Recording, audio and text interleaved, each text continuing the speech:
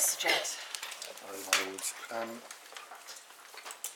couple of points. One, uh, I said before the short adjournment that the parliamentary uh, resolution, the parliamentary assembly resolution, I'm going to to in case law. Uh, uh, uh, we've looked again over the short adjournment, and it is referred to. You may have picked it up being referred to in paragraph 125 of the sterilisation of the French case, where the parliamentary assembly was one of the myriad of bodies that had come out against sterilisation, if I can put it that way. So the relevant paragraphs in uh, the French case are paragraphs 125 and for what the um, Parliamentary Assembly said about sterilisation in that case, see paras 74 to 75.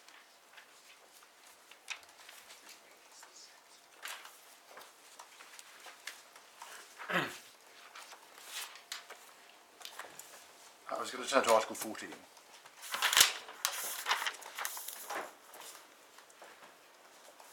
Um, and I'm not going to say anything beyond what's in our written argument about ambit, other status, or difference in treatment.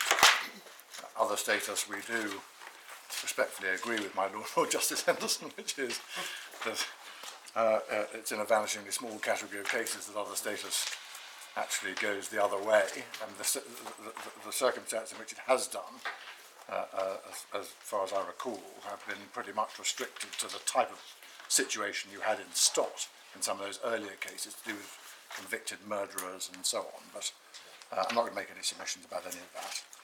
Uh, the justification question is the is the um, is the interesting one in, in relation to Article 14, and I've already made my submission that margin and the approach to margin applies equally in our context to Article 14. And you'll recall that I made the submission about margin on, on the back of a, uh, of a submission that um, it would be incoherent if the position were otherwise, and drew your attention to the fact that at least some of these cases are analysed as Article 8, some of these cases are analysed as Article 8 stroke 14. So it would be pretty incoherent if the position were otherwise in, in our particular context. And we do respectfully submit, therefore, that that approach in principle applies both uh, to margin and also to the question of whether or not there should be strict scrutiny.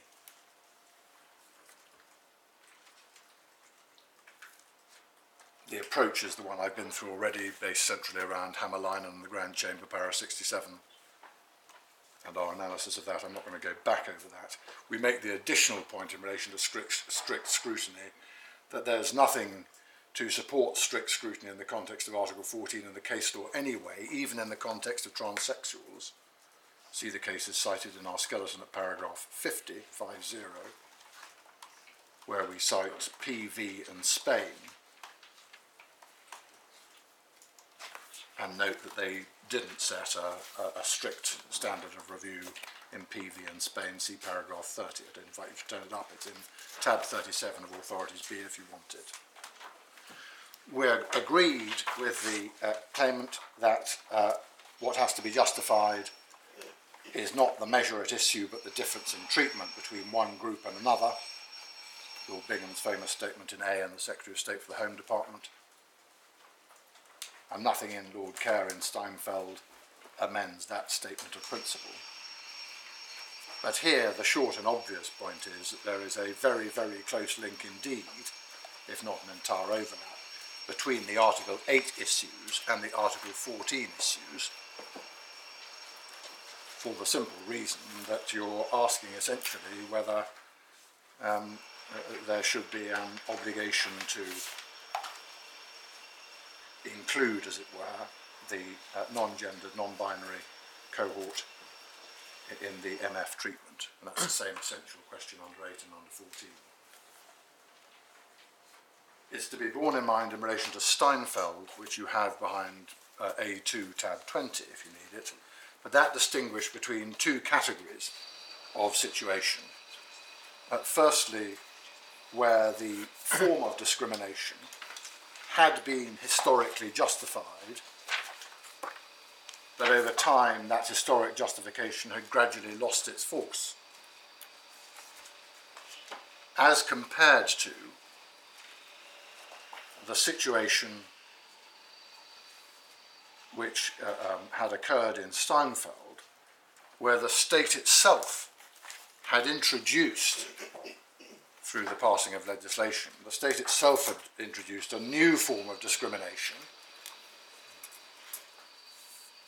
that had never been justified.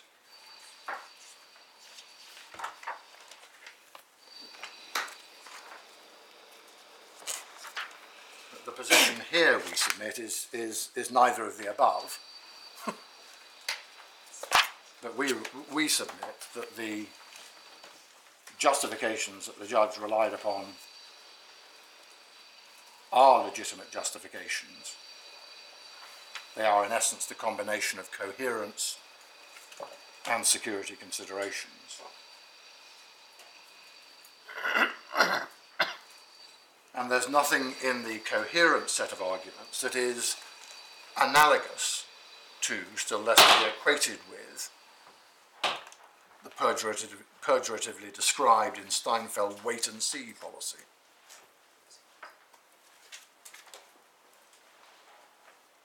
And that is because in the Steinfeld situation, as I've indicated, it was accepted throughout that something had to be done about the new form of discrimination that had been created. And the discrimination was not, on its face, as it were, justified in that way. So wait and see was the only answer. Here, what is being thought about is the coherence of a regime, whether the consensus has moved, whether we're under a positive obligation, and all of that. Well, in the sense of Steinfeld, there was only one thing that was either going to be done or not done. Yeah, that's true. Exactly so. Plus the fact that, as I say, I mean, the argument that was run was you, you can't hang us for doing something which is beneficial and in advance, as you've seen from the case, in terms of equalities and so on. But the, the, the, the, irony that underpins Steinfeld was that by having taken that progressive step, we had created a whole new and unjustified set of distinctions. So, um, but that is very different to the position we're in here. The question here is whether we've moved to that to that place where we've run out of rope in terms of consensus and all of that. So, so, so we do respectfully submit that there's nothing analogous. We can't be equated to the to the wait and see uh, situation in Steinfeld. There are a lot of serious and difficult related questions about how far society should move and all of that. So we respectfully submit that that's a very different situation. And for that reason, the base situation uh, is essentially exactly the same and raises exactly the same issues under justification as arise under Article 8. In any event, uh, e even if we were to be uh, beyond that realm and the clock has ticked far enough or you draw an analogy with whatever, um, uh, that we are not still in a comparable situation to the one in Steinfeld. We are, if anything, closer to the one that was being considered in Hooper, where the historic justification runs out over time. And the significance of that, or just highlighting that as an in any event point, is the obvious one, which is that in that situation, you do have a period of time to put matters to put matters right and to think about how precisely you're going to do that. That's all I wanted to say about discrimination. And just to be fair to the learned judge, it is right to point out, I think my learned friend entirely fairly acknowledged, that the argument below was very much on Article 8, with Article 14 not really adding much on either side's argument, and it's been given a few more legs, if that's the right way of putting it, because Steinfeld happened post uh, the judge's decision here. Relevant and irrelevant considerations. My one sentence submission is that the judge was right for the reasons that he gave, and that this in truth adds nothing to the key arguments around the convention, in particular Article 8. But if my learned friend has a virtuous concern about the state of public law, my short answer in relation to that is that this is a continuing policy which is under challenge. And it therefore falls to be justified as such as a continuing policy.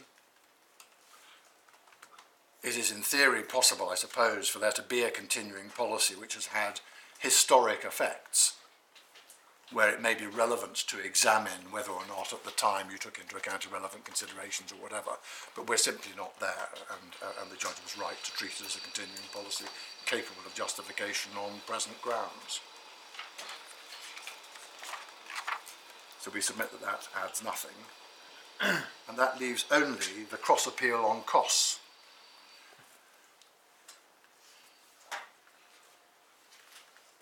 That's dealt with in our skeleton between 59 and 66.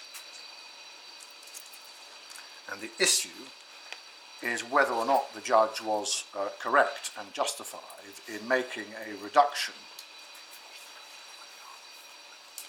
of a third to the capped costs. In this case, the numbers are very small, but the principle may be of some broader significance. A- And the issue of principle, in essence, is whether or not in a case in which the court decides that there should be an issue reduction, if I can describe it in that way, of say a third, that third should be made and come off total costs or the capped amount.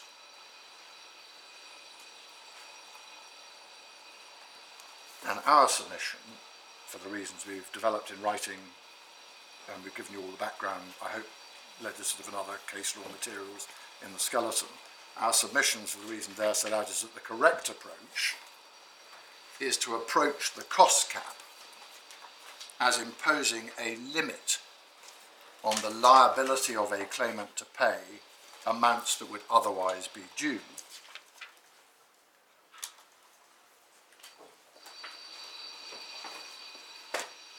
But to approach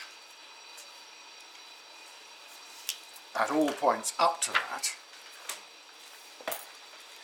to approach the question at all points up to that, on the basis that the cap is left out of account.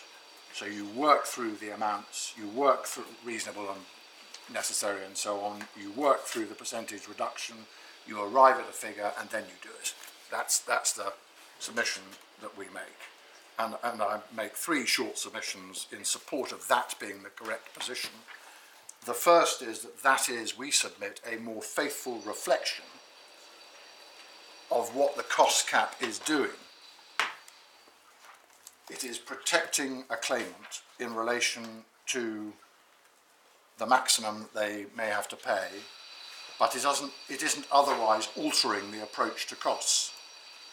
The cap was not designed, in effect, to play a part in the prior functional analysis as to how costs should work in a particular case. It is and should be a cap and no more. That's the first submission. Second submission is that if it's approached in that way, it entirely and properly reflects and protects the relevant public interest which is in play.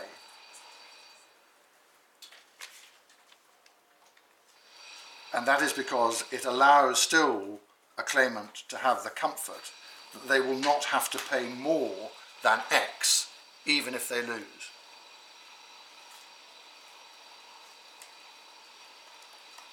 Would it not have the effect that, particularly where, as in this case, the cost cap is a very low figure compared with the real costs inevitably engendered in a case like this, would it not have the effect that the cost, that the party benefiting from the cost cap is liable to pay all of the costs up to the level of the cap unless they win absolutely every issue. Uh, it does have that effect. It does have that effect, but it still it still serves the function it serves. There may be cases where the cost cap is significantly higher. Um, one can quite envisage. I mean, we've had lots of cases in which the cost cap is set reciprocally on sixty-five thousand or fifty thousand or whatever it may be. But you, I, I entirely accept that it is a function of the argument that I that I advance. That in those very low cap cases, that is indeed the effect. I still maintain the submission, my second submission, which is that the, the public interest remains protected because the cap is still the cap. It's operating as the maximum cap that you. The, the, the, But a discretionary approach would enable the judge out here to reflect the positions of the parties and the outcome, perhaps in a more nuanced way than the, than the operation. well, my lord says in a more nuanced way, we respectfully submit that it would be in a more double counting sort of way. Uh, and it leads me to my third submission. So the second submission is that the public interest is properly and entirely protected because you've still got the maximum. You can make litigation decisions knowing you're not going to have to pay more than 3,000 or 50,000 or whatever it may be. But the third one is that it doesn't impinge or make a significant inroad into the other public interest in play, which is that it is the taxpayer who normally bears the residual costs of a successful defence. And that impacts, so it doesn't sound like too parochial a submission, that impacts more directly on MOJ budgets, the spending envelope which is available for justice, if you will, and thereby isn't just a broad taxpayer point, it's a point that could well have significant ramifications, or may have significant ramifications, uh, for the, for the beneficial side of that, which is legal aid, and you know, if you rob Peter, you have to pay Paul. So there is a public interest that is in play on the other side, which is taxpayer slash maintaining MOJ budgets for, for, for that sort of thing. So that's, I think, the substance of the answer to the point my lord, my lord makes. Um, th- th- there is one case in the bundle which I can show you very, very briefly. It's a very recent Court of Appeal case.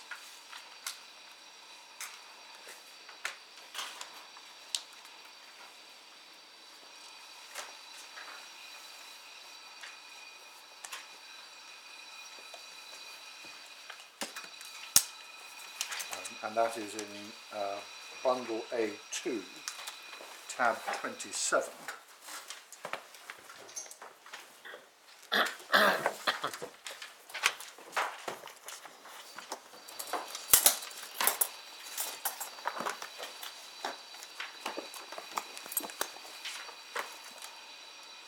which is the campaign to protect rural England against the Secretary of State and Borough Council.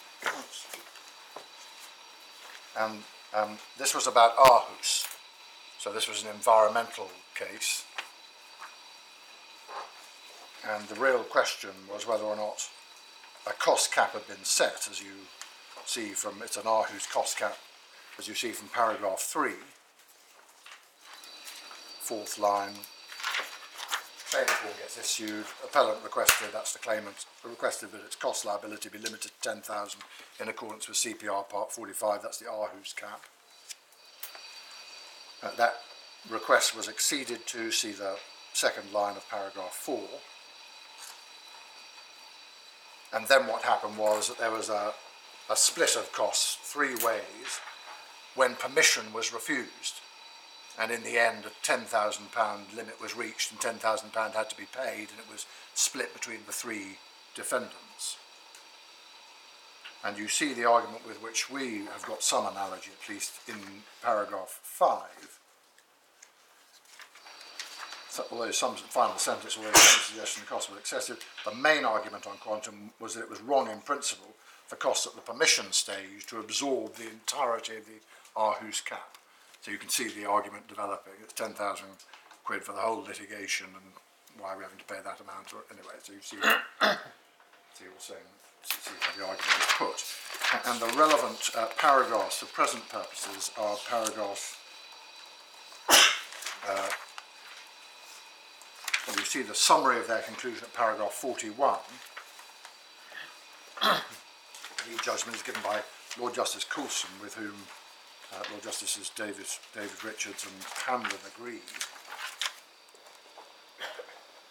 And you see in 41 the conclusion in the second sentence, more broadly, three, four lines into it. I reject the suggestion once the court has identified the reasonable and proportionate costs of the successful defendants or interested party following the refusal of permission, and those costs are in total uh, below the Aarhus cap, but the cap should nevertheless be deployed as a further means of reducing the costs. So that you see the analogy. And then the, the analysis which supports that, the key bits, are really in uh, paras 50 to uh, halfway down 53. Could I invite the court just to read those paras? So paras 50 through to about halfway down 53.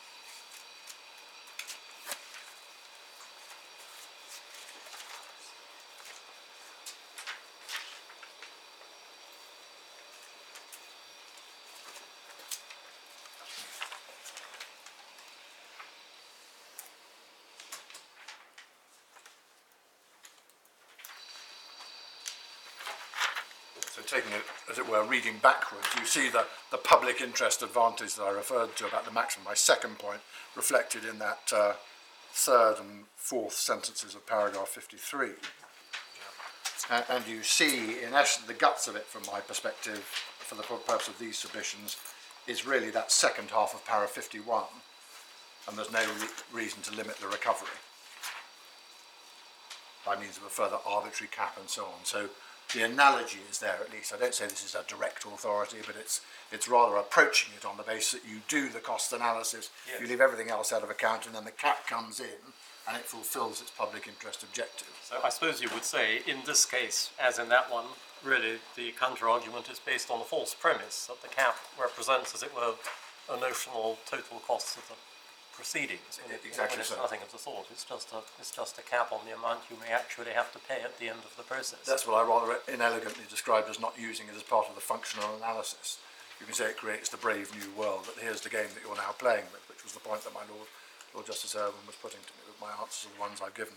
Particularly that, that, that those flip sides of the public interest, protecting the claimant so that you don't stifle useful public interest litigation that should be tested before the courts, completely and sufficiently achieved, but nevertheless you allow the costing to run and the cap comes in simply as a cap and operates in that way and that allows for the other side of the public interest, which is not saddling the taxpayer, or more accurately, the MOJ and its tight legal budget anyway, which is used for thoroughly useful purposes as well.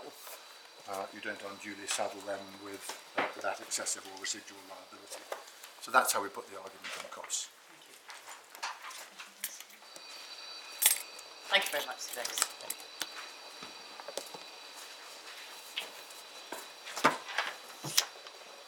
Yes, Mr Mountford. Mr Mountford, can I, d- d- was it you that um, gave us the references on the chronology? Um, yes, my lady. Uh, those sitting behind me um, assisted um, in doing those. We then uh, checked those um, getting junior counsel. Well, thank you very There much. We also added in uh, references to the additional evidence that we said by the Secretary of State. recently, so that's also reflected. Well, that was most helpful. I'm grateful to those of you that made that happen overnight. Thank you. Yes, now you're going to deal with the cross appeal. right? I, I am, my lady. Um, my lady, I have four, my lords, I have four points to make. Um, they are, first of all, by reference to the terms of the order. Uh, secondly, by reference to the general discretion as to costs under CPR Part 44. Thirdly, as to consistency with principle. And four, as to the lack of unfairness. Can I deal first then with that first topic, the terms of the order?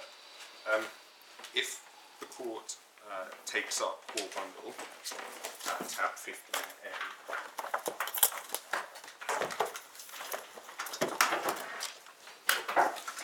this is page 255A.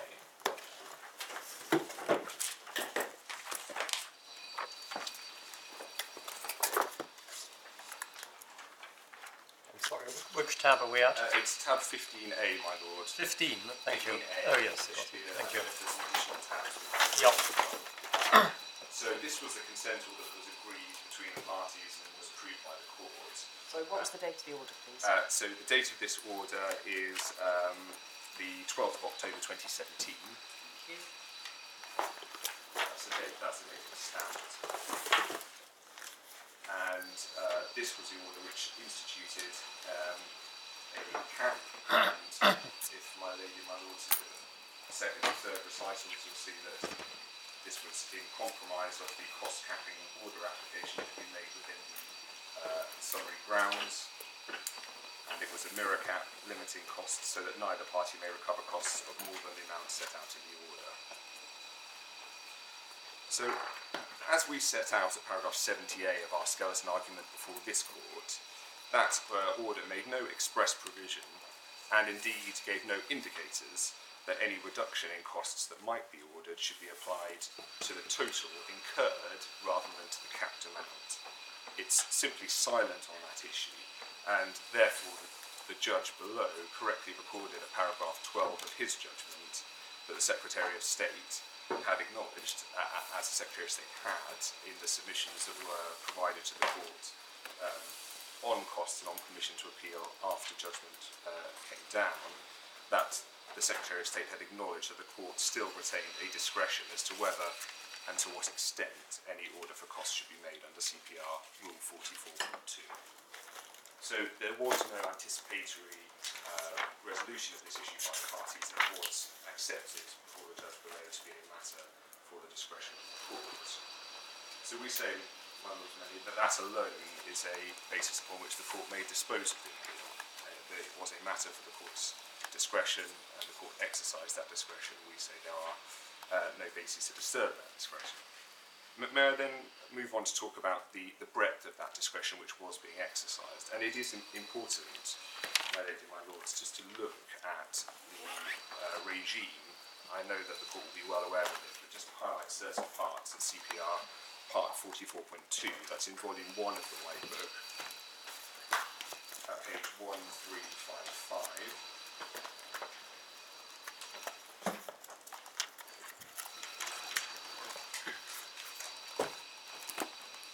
Looking first of all at rule 44.2 brackets 1, the court will see that there is a general discretion, a very broad and flexible discretion, as to whether costs are payable at all, and if so, in what amount, and indeed as to timings as well. Now, rule 44.2 brackets 2, it provides that there is a general rule that costs will follow the event, but that the court may make a different order, and that's 44.2 brackets 2b. Now, I pause there to say that that, of course, is what has happened in this case. The court has determined that it's appropriate to depart from the general rule, and it's done that by ordering that a stated sum of £2,000 be paid, and it arrived at that by applying a 33% reduction to the maximum cap to reflect the fact that the judge had found against the Secretary of State on the important issue of the engagement of Article 8, and of course there's no challenge to that conclusion. Now, my lady, the reasons that a court may depart from the general rule are broad, and if the court looks down at rule 44.2, 4 and 5, sub 4 and sub 5, that includes uh, conduct. And those conduct considerations include whether it was reasonable to raise and pursue an allegation. They include the manner in which the case was pursued. They include matters as to exaggeration. So we say that there are a multiplicity of reasons why a court should have a broad and uh, unfettered discretion in order to, except by reference to the factors that are identified, look at what is an appropriate cost disposition uh, in the round. And uh, my learned friends at paragraph 63 of their skeleton argument, we say, are wrong to say that Rule 44.2 as a whole starts with the premise that the successful party gets its costs subject to deductions. The court's powers are much more flexible than that, and they're much more flexible than that for good reason. Now, we say at paragraph 70b of our skeleton argument that the, the compensatory aim, the general compensatory aim of cost provisions, have already been subsumed in this case, in the case of cost caps, to a superior interest, and that superior interest is the access to justice in public interest proceedings and the rule of law considerations in those important public law claims, issues of general public importance, getting to the courts and not being stifled on account of the fact that the people who are affected by to bring them, or indeed one person within an affected class uh, does not have the means to do so. Uh, that then brings me on to the third of my topics, which is the question of consistency, consistency with principle. The, the cost capping order regime is that provided for sections 88 to 89 of the Criminal Justice and Courts Act 2015. That's in Authority Bundle C at tab 54.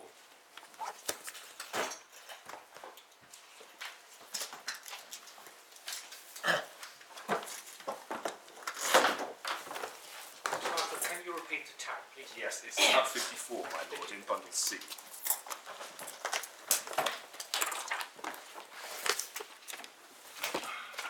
I apologise if I'm taking the court through matters which are well, well familiar, but these provisions of section 88 and 89 replace the previous judge-made system of protective costs orders, uh, which were most authoritatively stated by the Master of Laws or Phillips in uh, the Corner House case.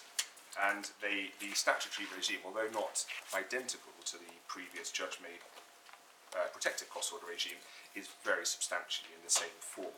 And just looking at, at section 88, uh, you'll see there are certain features to highlight. First of all, at 88, um, 1, uh, 88 sub 2, a cost capping order is a an order limiting or removing the liability of party in judicial review proceedings to pay another party's costs in connection with any stage of the proceedings.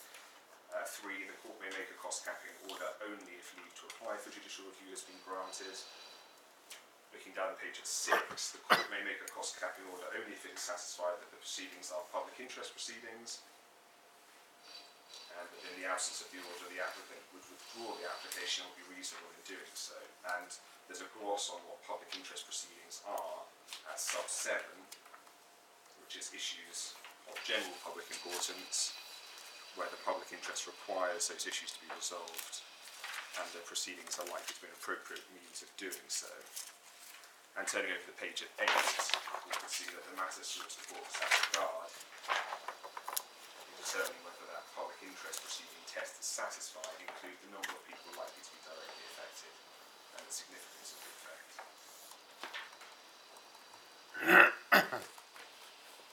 Looking at paragraph eight, section 89, uh, the matters which the court has to have regard in considering whether to make the order and the terms of that order include the financial resources of the parties to the proceedings, the extent to which the applicant uh, is likely to benefit, uh, sub D, 891D, whether the legal representatives for the applicant for the order are acting free of charge, and whether the applicant for the order is the appropriate person to represent the interests of the persons in public interest generally.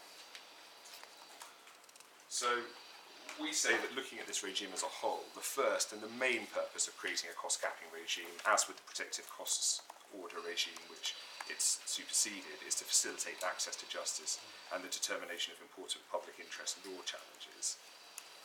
So, where at um, paragraph 64, the Secretary of State's skeleton argument, it's argued that the judge's approach was contrary to the principles of cost capping, and they were summarised the paragraph 61 of the respondent's skeleton argument. Um, most of those we don't take any issue with, but we say the primary reason for the regime is to facilitate access to justice and ensure these important public law interests come before the court.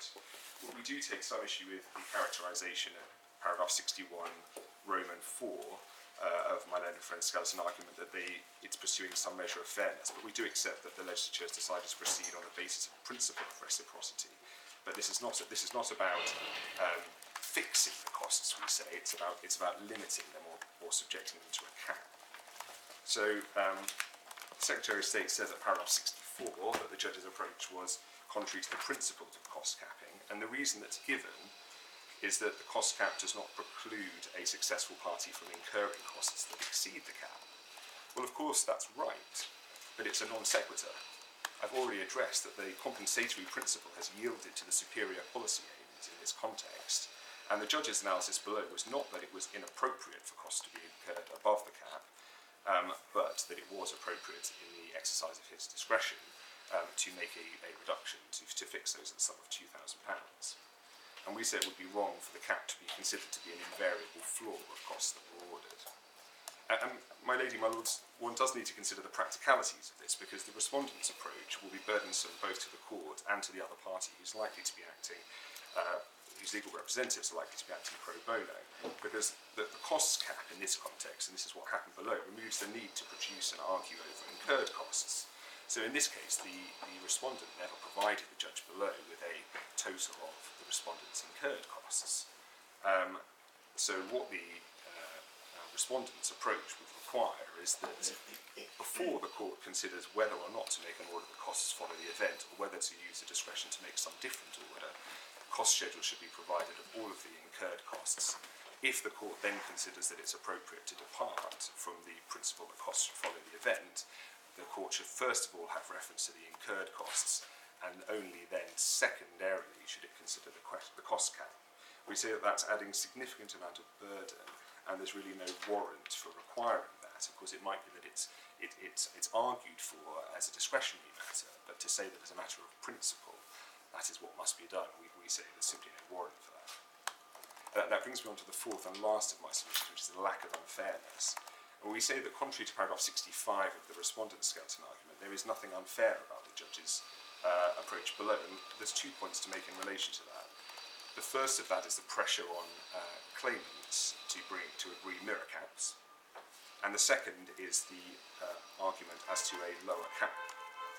Now, at paragraph 13 of our submissions below on costs, I don't need to take the court to it, but just for the court to note, these are uh, tab 24 of the core bundle. We made the point that the original uh, application for a cost capping order was made within the, the summary ground, within the detailed grounds of, of claim. And it was made on the basis that the claimant in this case is a member of the affected class, the outcome of which uh, this litigation will be of comparable significance for the class as a whole, that the claimant was an appropriate person to bring this claim because of the claimant's uh, legitimate interest in the subject matter and long-standing engagement with the government in respect to this issue. But the claimant's financial position was very precarious. The claimant was unemployed, and indeed, as the court will have seen from the witness evidence that's been filed, the claimant has had great difficulties in the course of the claimant's, uh, the applicant's uh, life with employment, often uh, arising from uh, the applicant's non-gendered status. So the applicant was in the position of somebody who was unemployed limited financial means, uh, with a partner who was, to be supported, who was a registered blind person, and that had only been able to bring this claim because they had been able to uh, secure pro bono legal representation. And what claimant sought in that application was uh, uh, a, protect, a cost capping order, which was removing the liability to pay costs or alternatively limiting it to £3,000. And the defendant opposed the application that the cost liability be relieved and only proposed to agree a mutual limitation at £3,000. And there's an important uh, point here as to why this places the claimant in an invidious position. The, the, the, the sections that I, I've shown the court, as I say, embody the, in large terms, the protected cost order regime. And if I could just ask the court to take up um, the Corner House case, this has been added uh, at the end of um, volume A2. It should be tab 28C in the court's bundles.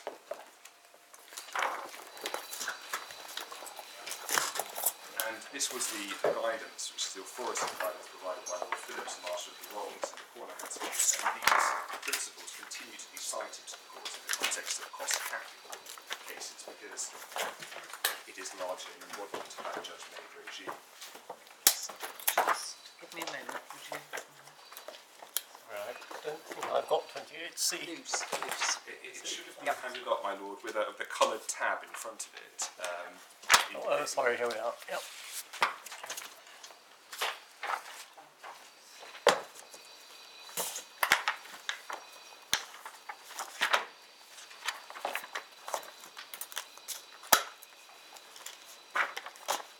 May I invite the court's attention first to paragraph 74 of that judgment of the Master of the Rolls. Seventy-four. 74, Thank you.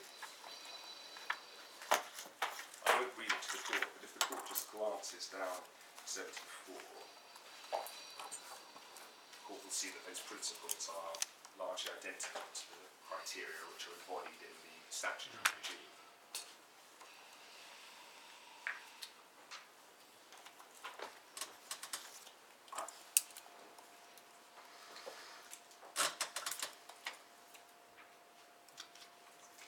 paragraph 78, what the court said is that the application for a protective cost order should in normal circumstances be sought on the face of the initiating claim form and the application should be supported by evidence. Um, that is reflected uh, now in the statutory context, uh, both by paragraph 10.2 of Practice Direction 46, and if I can just give the court the reference to that, it's White Book Volume 1, page 1539 and also to section 88.3 of the statutory scheme, which I've already shown the court, which is that a cost capping order may only be made if leave to apply for judicial review has been granted. Now, what the court continued to do at paragraph 78 was to give guidance uh, as to what cost liability a claimant might face if they made an application for a protective cost order and that was resisted. So, turning over the page, the court said, the costs incurred in resisting a protective cost order should have regard to the overriding objective in the peculiar circumstances of such an application. Recoverability will depend on normal tests of proportionality and where appropriate necessity. We would not normally expect a defendant to be able to demonstrate the proportion of costs exceeded thousand pounds. So that gave to public law claimants a great measure of reassurance that if they applied for a protective costs order, if that was resisted, as it invariably was, uh, by the Secretary of State, uh, then their maximum liability was a, was a known sum and it was a, a, sum of a thousand pounds. But the lacuna that was created and has, has never since been addressed, unfortunately, is that because the application for the protective cost order is made on the face of the originating claim, and because the uh, respondent is required to file acknowledgement of service with the summary grounds, and is in principle entitled to the costs of those summary grounds if permission is refused, is that the consideration of the protective costs order and the consideration for whether to give permission to seek judicial review are given at the same time, and the court has never given any guidance as to the reasonable limitation on the costs which a claimant may face uh, if permission to appeal is refused. So, in a situation where an application for judicial review is made seeking protective costs order, permission is resisted, the making a PCO is resisted, the claimant knows that absolutely extraordinary circumstances, they will only face the £1,000 refusal of the protective cost order, but they have no idea of knowing what cost liability they face in respect of having um, uh, of the respondent's costs, of having the defendant's costs, of having uh, resisted permission. And so, practically speaking, what that means is that uh, where a defendant comes and says, well, we'll agree a mirror cap, uh, the claimant is in no position to pursue what they actually wanted, was to be relieved of the cost burden by reference to their financial circumstances, because uh, there is an indeterminate liability in respect of um, in respect of the sums they may pay um, for permission. So we say that in those circumstances, um, although the application for the cost capping order was made by reference to the means, the court can't simply say, well, the mirror cap that was agreed is also a reflection of those means because it also reflects the fact that the claimant is in an invidious position if they take that through to wait for that to be determined by the court. And, and so we say in those circumstances that the it, it, that it is fair that the sum, the cap, is treated as a maximum amount of liability and not a de facto liability, and that the court has a discretion. And indeed, taking my Lord Lord Justice Irwin's point that uh, in circumstances where a um, respondent, uh, defendant, had been found to have um, uh, raised issues which it ought not to have done so, and indeed to have pursued those in an improper way or to have exaggerated matters, those are matters where we say that it would be uh, a, a wrong result, where having had the burden of dealing with all of those issues, the court having had the burden of dealing with all of those issues unnecessarily, there is no consequence in terms of costs at the end of the day. We say that's a matter which should be reflected in the uh, discretion of the courts. And then in relation to the second point, the, the Secretary of State argues that um, it's an unfair approach. This is paragraph 65 of the respondent skeleton argument because it leads to a lower cap being imposed. We say that's simply wrong. The cap is the same, but in the exercise of its discretion, the court has not award, determined to award the full amount of the uh, uh, of the cap. And we say for those reasons, such as conduct, such as considering the balance of success on the issues, uh, that is something which is appropriate. It's something which also supports not just the interest of fairness to the claimant, but proper administration of justice at the court uh, has an ability uh, to do that. Um, finally, in relation to the case that my, that my learned friend refers to, the CPRE case, Um, we of course accept that a cost cap is in the nature of a, an, a somewhat arbitrary figure by reference to the total cost which may be uh, incurred, but really the issue there is, is one about stages, and there was an argument in that case that, uh, well, we can say that you know, this is referable in broad terms to the whole litigation, and if it only gets as far as permission, then we can start to uh, we can start to splice it and dice it. We understand that that is an unattractive position, um, but we say that case simply has no uh, general application to the issues before this court now as to whether there was anything uh, in principles wrong exercise of discretion by the judge below. Unless I can assist the court any further.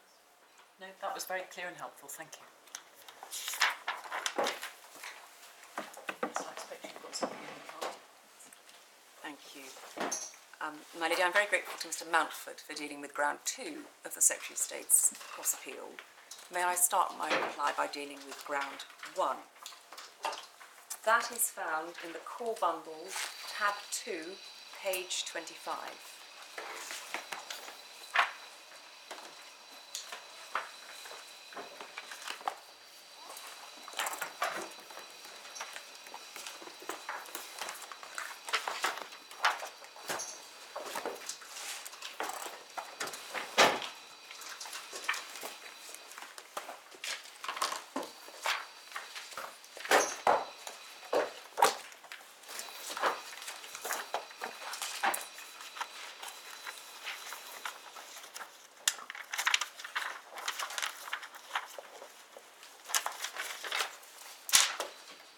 Round one is that the Court of Appeal should uphold the judge's decision for a further reason not given by the judge.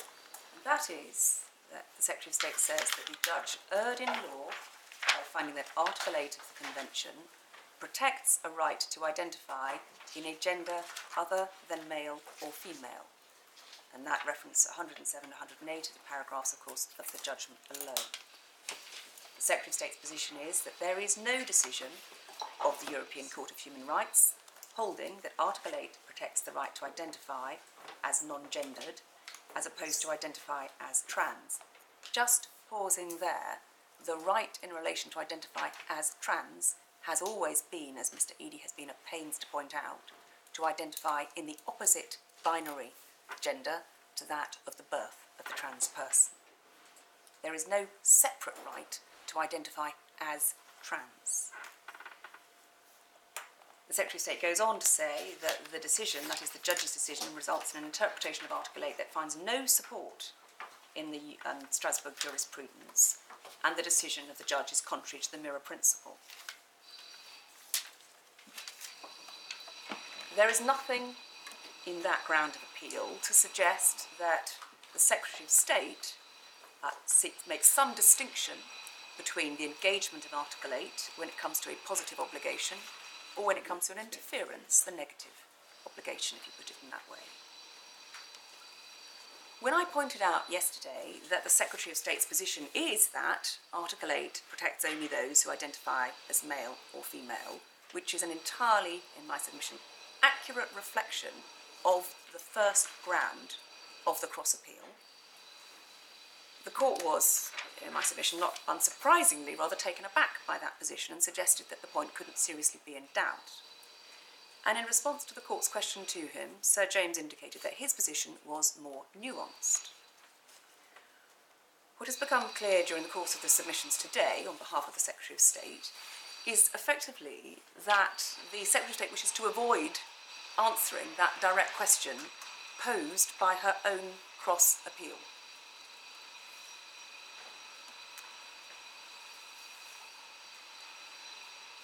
On behalf of the Secretary of State, Sir James accepts that gender identity is protected by Article 8. It is difficult to see how he could not. He accepts that it is recognised in the jurisprudence of Strasbourg in a broad sense. But not once in the course of his submissions did Sir James accept that gender identity in the form of non gendered identity was protected by Article 8. The highest it was put is that this court cannot jump to a conclusion that the principle in cases such as Van Kück apply to non-gendered persons.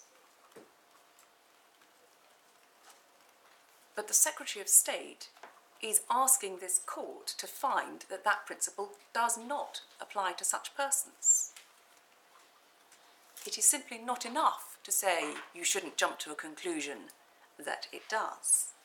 Rather, there ought to have been an argument in support of the grounds of appeal, which are not abandoned, to say why Van Kück does not equally apply to a non gendered gender identity. When pressed, he says, well, you still have to apply the three factors.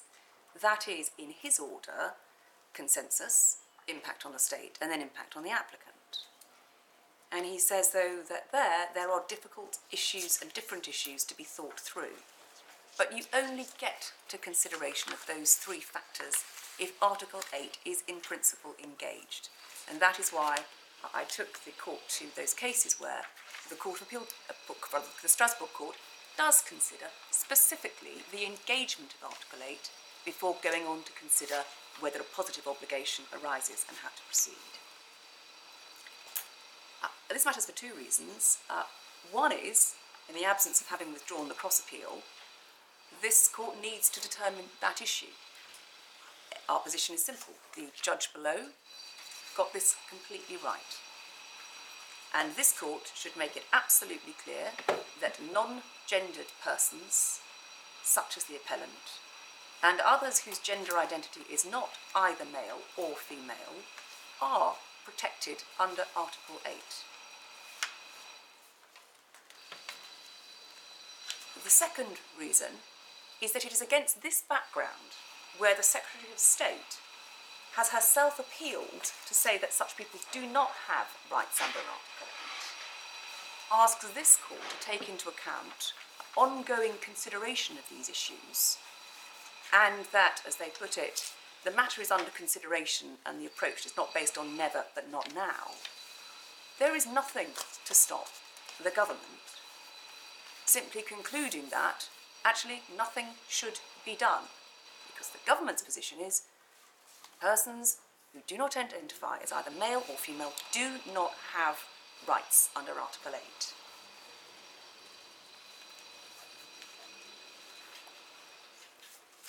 While dealing with the position of the appellant, I, move to the first of the factors uh, that Mr. Eadie Sir James identifies as being the three relevant factors. I, I pointed out in Goodwin there are four. There's also medical and scientific considerations. I also pointed out there isn't, a, as it were, a priority given to consensus. It appears third in the list. It is no more key than the other issues.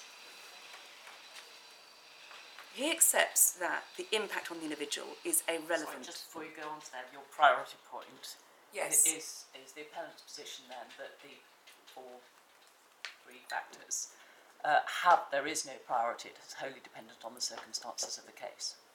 Or are you saying that you would say one factor is dominant? the, the factors then get put into the, the weighing scales to test the balance.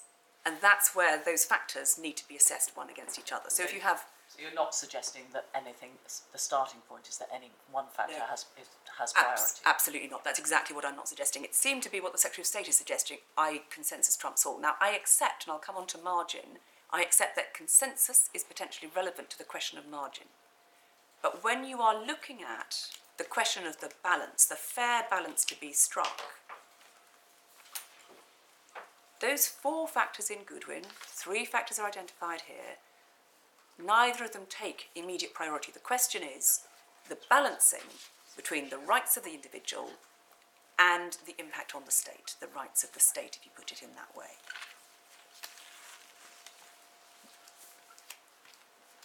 Now, Sir James says he doesn't want to get sucked into an invidious debate on the impact of the passport policy which we challenge in these proceedings on the appellant.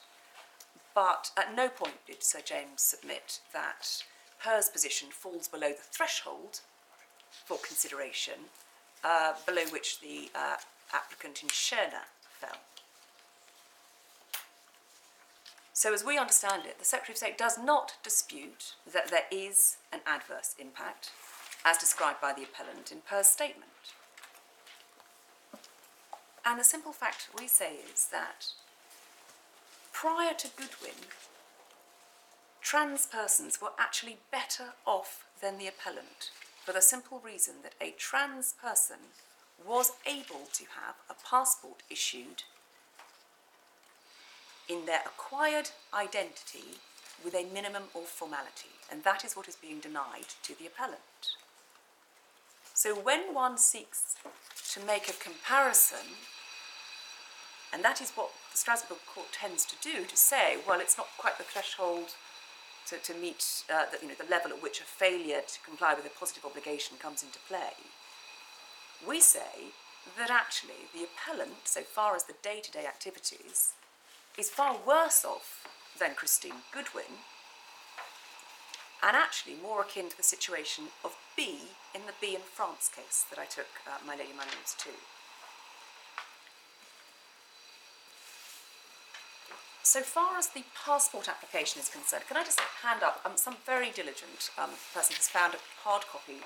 Oh, and some even more diligent person has found got photocopies of them.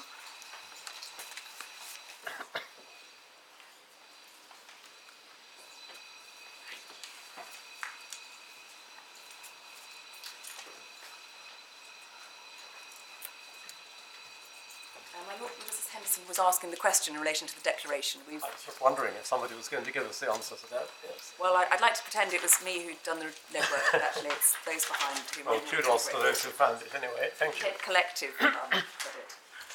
Uh, the uh, front of the, this is a, obviously a hard copy application form. The front page at section two uh, requires you to tick the box either male or female, or cross it. And uh, you see to the left hand side where it says avoid delays, your personal details at section 2 must match what's on your supporting documents. If they don't, tell us why and check the guidance booklet for documents. So you must cross X or Y, although we accept that if you do not, the default position is the supporting documents that you put in. On the back page, section 9 is the declaration.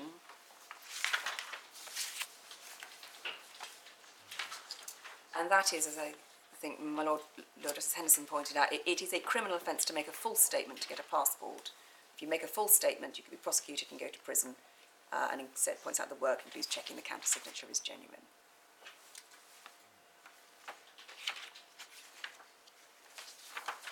And so one sees the declaration, which includes at subparagraph six, as far as I know, all the information I've given in this application is correct. I mean, the potential is we then get into difficult areas, we don't we, about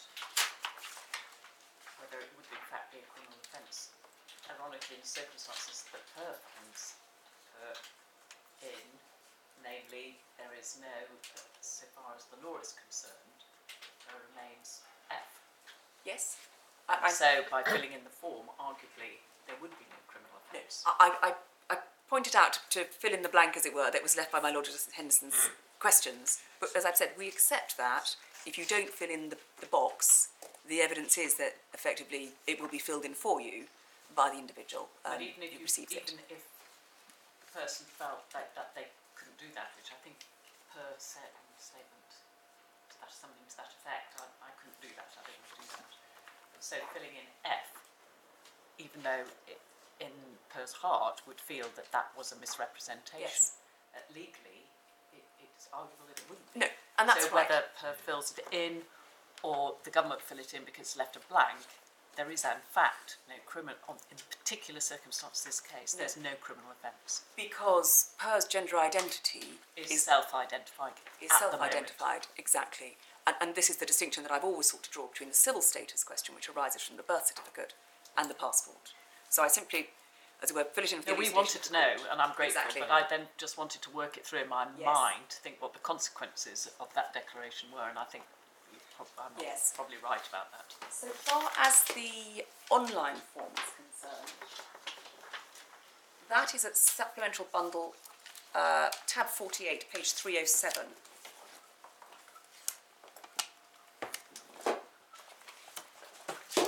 Which tab again? These Forty-seven. forty-seven. Oh, sorry, Forty-eight. forty-eight. So supplemental bundle, tab forty-eight, page three zero seven.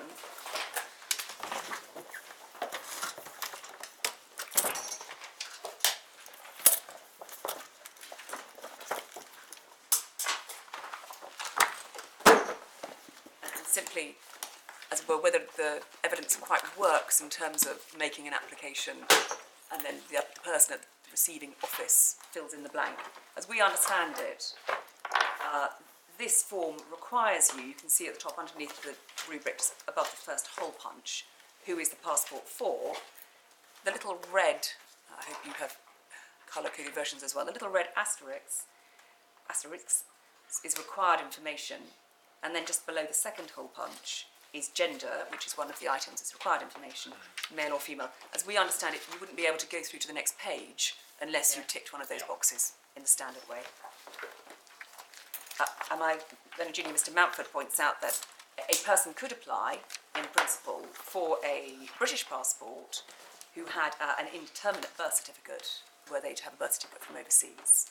So there may be situations, not in the case of this appellant, but there may well be situations where actually the application form, whether the hard copy or the online version, simply didn't accommodate that individual. So a different issue might arise there, because there you would have a situation where a person's nationally recognised civil status was indeterminate, a European situation, which is possible, um, but nevertheless the form wouldn't allow for it and the issuance of the passport wouldn't allow for it equally. But I simply put that out as an example of the other difficulties that may Well, arise. then you've got to tie that in, don't you, with when was that law passed reality, practical purposes, against uh, Sir James's argument that they need time to look at all these complicated matters, which would no doubt include the impact of European law on on on how the boxes are fixed. Well, we simply say that at the moment it's quite feasible that a person with an indeterminate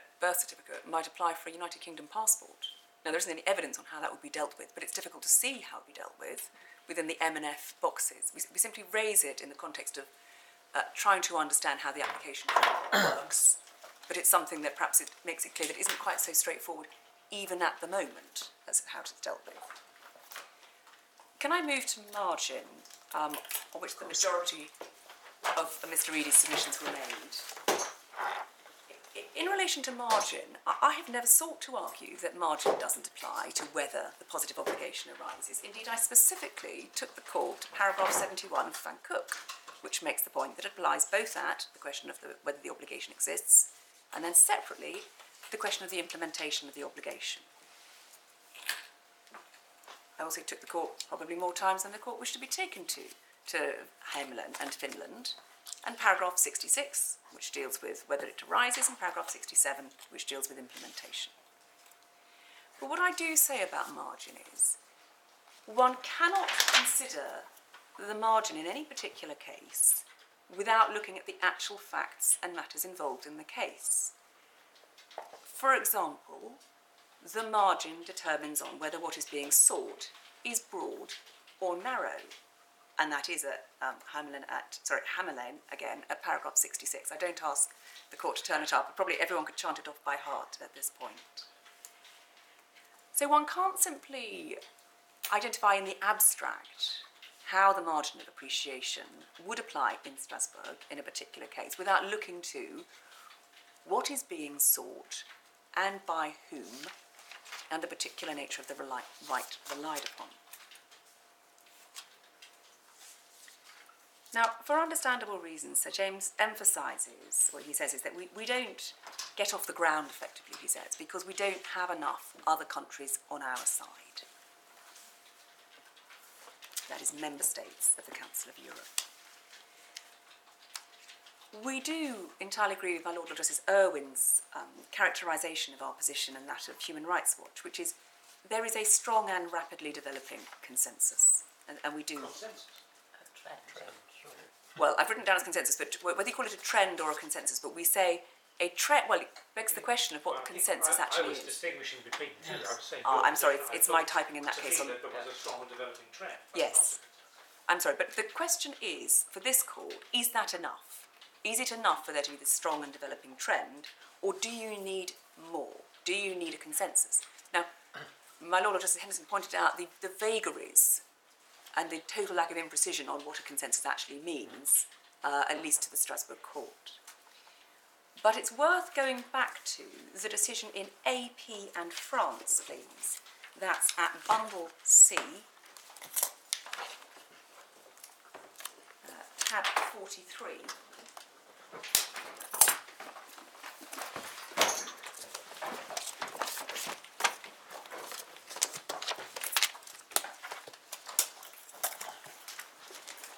And the court was taken to uh, the uh, analysis uh, in relation to the margin of appreciation in particular from paragraph 121 through to 125.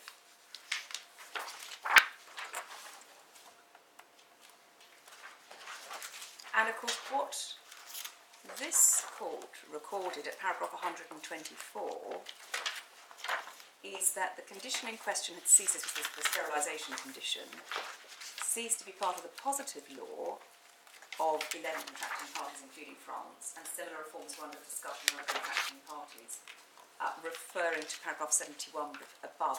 Can I just invite the court to turn back to paragraph 71?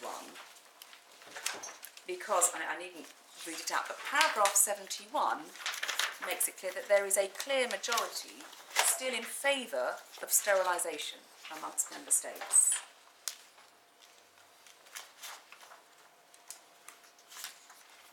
And just one can see within the, the lengthy paragraph 71, just by the second hole punch, it points out that the number of member states in which recognition is not subject to a legal requirement to undergo sterilisation is 18, 19 in Europe, counting Belarus, compared to 22 countries in which it is.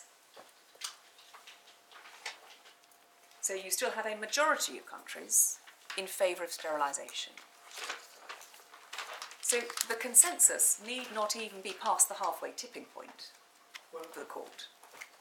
I wondered if that's what you were going to say, but I thought what you were saying initially yesterday was that even where you don't have a consensus, if the rights Yes. involved are central enough, then the court can or should appropriately say that the Absolutely. I, have a number of levels to my argument. Absolutely. My, my first level is consensus is not quite so straightforward as it may have appeared. And when one looks at the paragraph 71 combined with paragraph 124 and 25, it's important to record that it was a minority rather than a majority at that point. But I do rely upon, exactly as my Lord anticipates, I do rely upon the point which is consensus is not a trump card. It doesn't simply mean if you don't have the consensus, however one defines consensus, uh, you know, that there is no positive obligation. Now, my um, learned friend uh, Sir James took you to Sheffield and Horsham. Um, we think that the, the reading of Sheffield Horsham is, isn't quite right. Um, that's at tab, tab 59A at the same bundle, right at the back. It was one that was inserted uh, by the respondent.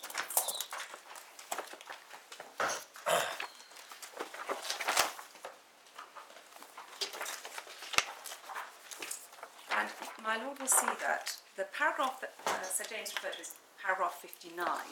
Now, just to put that in context, at paragraph 58, the court considers whether or not to depart from its decision in Rees and Cossey and conclude on the basis of scientific and legal developments, the respondent state can no longer rely on a margin of appreciation to defend its continuing refusal to recognise in law a transsexual's post-operative gender. And it says for the court, it continues to be the case uh, that transsexualism raises complex scientific, legal, moral, and social issues in respect of which there is no generally shared approach among the contracting states. So that's, as it were, the Secretary of State's position. But paragraph 49 addresses the different question that my Lord Justice Irwin puts, which is the B and France approach, which is an alternative approach in this case, which is nor is the court persuaded that the applicant's case histories, in other words, the personal circumstances of the applicants, Sheffield and Horsham, demonstrate that the failure of the authorities to recognise their new gender gives rise to detriment of sufficient seriousness as to override the respondent state's margin of appreciation in this area. And that goes back to B and France. So we entirely accept that if consensus is, as we're defined at a higher level than the strong and continuing international trend, if that is defined at a higher level than that, we have difficulty, if it's just re- relating to member states, difficulty meeting that consensus test. But that isn't a complete answer to our case, because the separate question is, does the failure, in that case of Sheffield and Horsham and in B, to recognise a new gender give rise a detriment of sufficient seriousness? And we do say it's highly germane that the situation in France was not the same as the United Kingdom, and that was the basis for the court distinguishing between the case of B and the, the case of Rees that came before it. If I could just ask the court very briefly just to go back to B, it's the, the um, tab 30.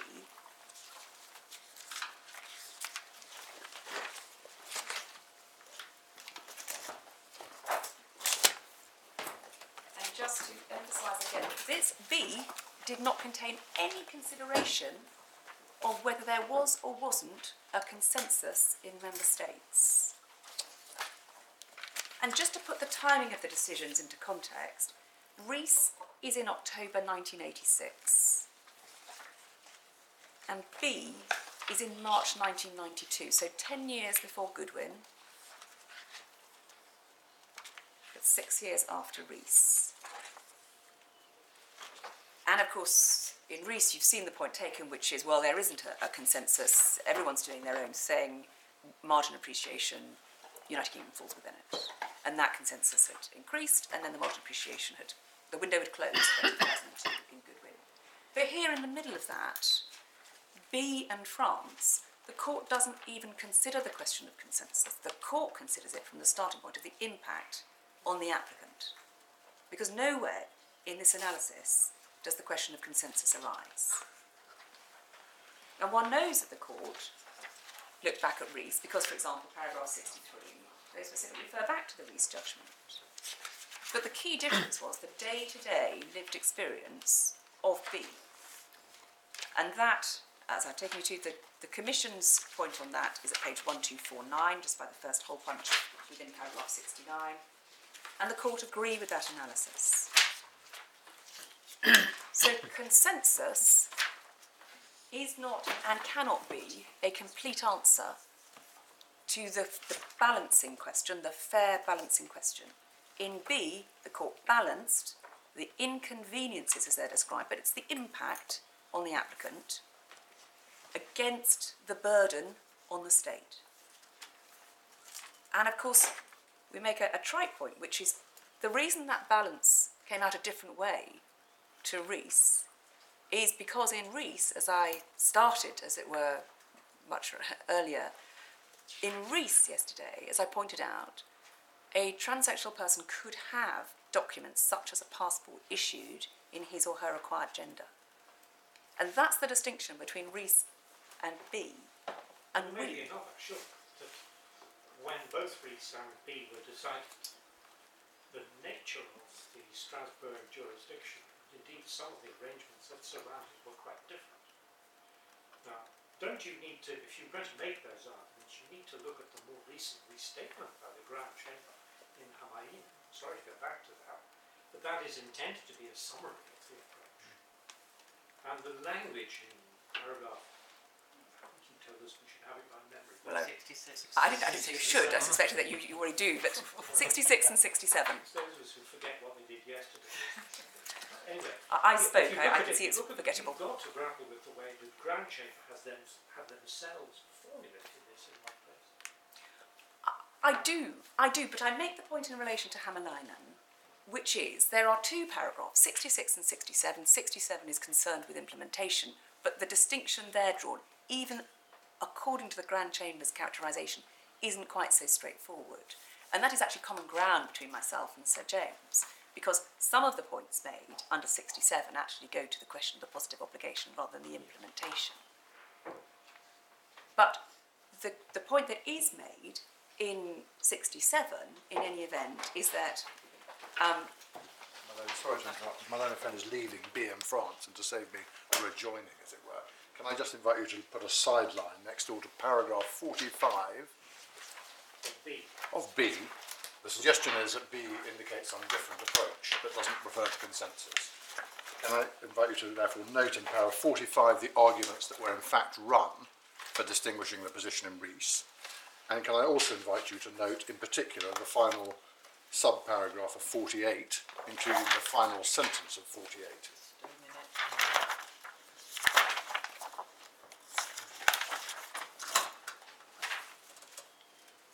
Para 45 to see the arguments actually run, and para 48 including specifically the final sentence.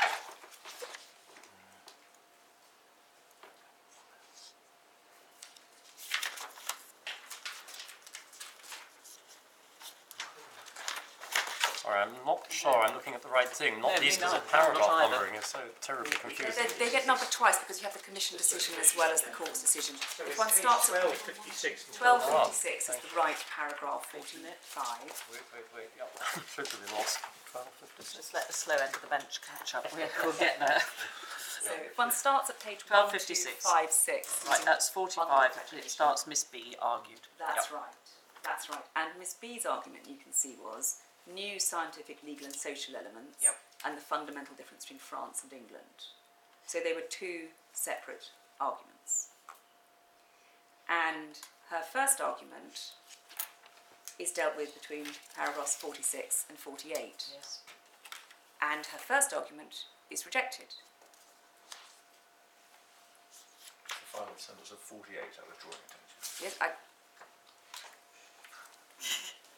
Sorry. The word consensus undoubtedly appears. But it Thank doesn't you. determine the question because they then move on at two, between the two hole punches from paragraph 49, to consider the differences between the French and English system.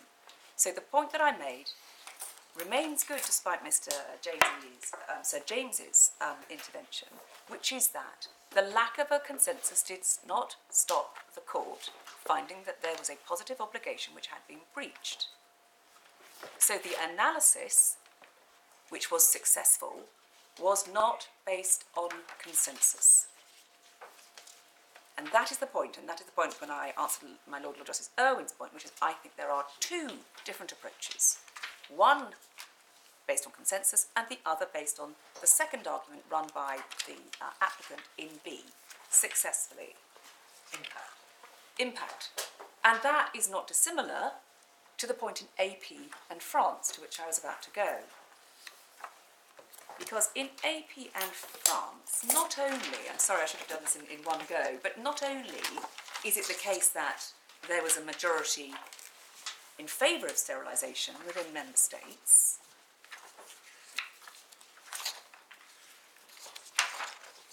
but that the finding that firstly there was a narrow margin of appreciation and then that a fair balance hadn't been struck. Is based on paragraph 123 that is the essential aspect of the individual's intimate identity. Now of course i accept that in ap there were two elements of identity at play. One was because it went to physical integrity and the second was the uh, general uh, because the, the applicants, sorry, the applications concern individuals' gender identity, and they set out their Pretty and Van Kück and Schlumpf. And they say this finding leads it to conclude the respondent state had only a narrow margin of appreciation. Now, the Secretary of State's position appears to say, well, actually, if you take away physical integrity, you go back to a wider margin of appreciation. It's something of a concertina, isn't it? The question of appreciation. It gets, as were, wider and narrower as you play off each factor against each other. Uh, we simply don't accept that that's right. We accept that there was another factor in play, but we don't accept that of itself there is a narrower margin because of the, uh, the nature of the fundamental right in issue. That is, uh, the fundamental importance of personal autonomy and an individual's gender identity within that. And Sir James uh, took you also to paragraph 127 to note that uh, medical treatments were protected by Article 3. I'd just make the point that paragraph 127 and onwards, that's dealt with under the question about the fair balance. That's not going to margin of appreciation.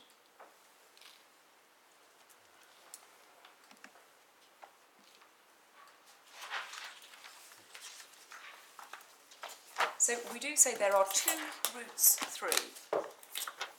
We say that on a fair reading, the clear and developing uh, international, including within member states, trend uh, is and should be sufficient, but in any event, the impact on the appellant is equally sufficient because per is in the same position effectively as B.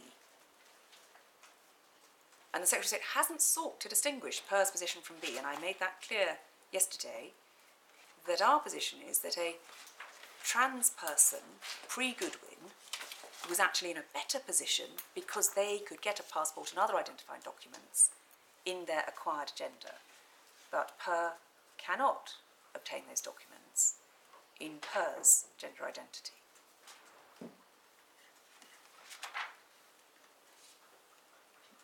Situations, as demonstrated by B in France and the United Kingdom cases, therefore may be very different because that's why you have to look to what the individual applicant is seeking and what the position is.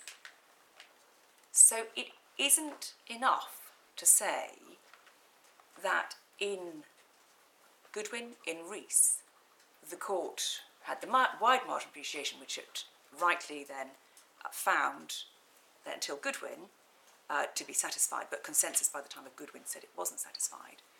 Because always in that Rees and the Cossey and the Sheffield cases, those individuals always had a number of identifying documents, including passports, which did reflect their gender identity. And we say it's critically important then not to think, well, we fall into the same category as those applicants in Rees and Goodwin. And we say that it's too simplistic to suggest that just because the court finds a positive obligation in one case, to say that it then rolls out consistently across all member states. Um, my learned friend took you to Schalk, um, just for the court's reference, given the time. But paragraph 105 was in relation to a margin of, of appreciation in relation to the timing of the introduction of legislative changes. And in a subsequent decision of Oliari, and that's at uh, tab 42 of B, and again, if I might just give the references to this, the complaint there was equally in relation to not being permitted to enter into a civil union, which was said to be a violation of Article 8. And at paragraph 165, we draw the court's attention to the court noting it had already acknowledged that um, in the Italian situation, due to, for example, sizes of populations, there was no prevailing community interest. So the particular situation, not only of the individual applicant, but also the state concerned, may determine whether or not a positive obligation arises. I've so far then dealt with the margin of appreciation. We may be forgiven for thinking we are already in Strasbourg, because of course the margin of appreciation does not apply directly in this court or these courts in this country. We do rely upon the DSD case, uh, uh, that's um, Bundle Authorities A2, tab 19874. And we do also rely in this context upon uh, Lady Hale's speech in Re G adoption, that's bundle A1, tab 6, 199. If there is a clear and consistent line of Strasbourg authority, then we will follow it. Otherwise, if in the margin of appreciation, we'll have to form our own view. The main thrust of the Secretary of State's submissions remains administrative coherence. And in his submission, Sir James accepts that as a matter of law, passport change could be done without having any consequential and direct effects. Uh, he doesn't accept it doesn't have any consequential. That's my note. Again, it might be that I've mis, um, as it were, but my recollection and my note Define is... consequential, I suppose. Is, is how Well, it does define consequential because it, it depends upon who is saying what the consequence should be. But in and of itself, just as it didn't in Goodwin, the identification of the sex marker on the passport does not have any direct consequential effects.